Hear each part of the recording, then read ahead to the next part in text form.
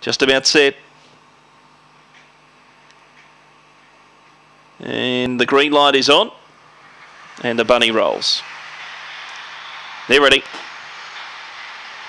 Set and racing. Beginning well was Virtue on the inside. Will go to the lead early from All Courage and Flash Fable out deeper. Hard Wicket, Hardy Chief were next of all and deeper out Diamond Express as Hard Wicket got a check pass by King's Delight and Chinese Whisper.